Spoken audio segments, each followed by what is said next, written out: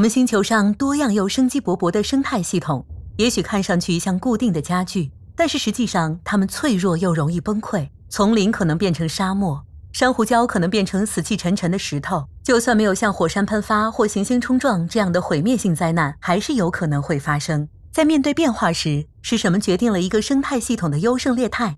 这个问题的答案，在很大程度上来说是生物多样性。生物多样性由三种息息相关的特征组成。生态系统多样性、物种多样性和基因多样性，这三种特征之间联系的越紧密，生态网就越会越密集，并且恢复能力越强。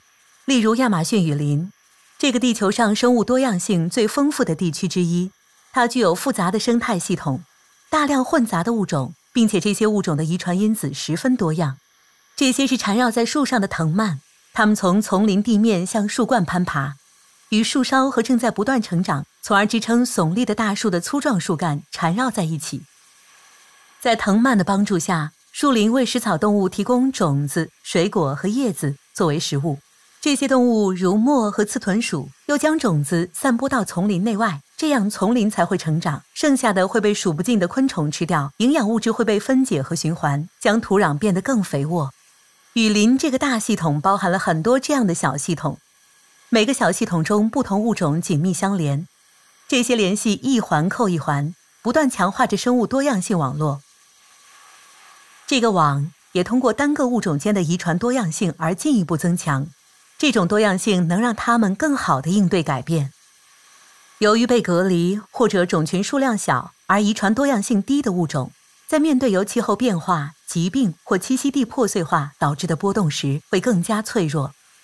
每当一个物种由于它脆弱的基因池而消失时，联系网的一环解扣，某些部分的联系也随之分裂。那么，如果我们移除雨林中的一个物种呢？这个系统会崩溃吗？也许并不会。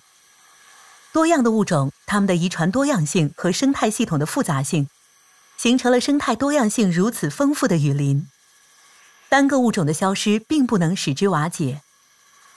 自愈能力使丛林可以适应这种变化，但是也有例外。在某些环境中，一个重要部分的缺失可以破坏整个系统。以珊瑚礁为例，很多生物寄生在珊瑚上。珊瑚为成千上万种鱼类、虾蟹和软体动物提供着重要的微生境、庇护所和繁殖地。珊瑚同时也和真菌和细菌互相依存。有了珊瑚这个织布机，生物多样性的网才细细的编织起来。这就让珊瑚成为其他微生物赖以生存的基石。所以，当破坏性捕鱼行为、污染和海洋酸化伤害或将珊瑚全部杀死的时候，会发生什么呢？就像你想的那样，这一基础物种的消失会让依靠它的生物岌岌可危，同时也威胁着礁石的整个生态网。生态系统、物种多样性和遗传多样性一同组成了生态多样性这个复杂的网络。这个网络是地球生物存活的关键。我们人类也在这个生物多样网络中。即使只少了网上的几根线，我们的安康也会受到威胁。切断太多的联系，将有全军覆没的风险。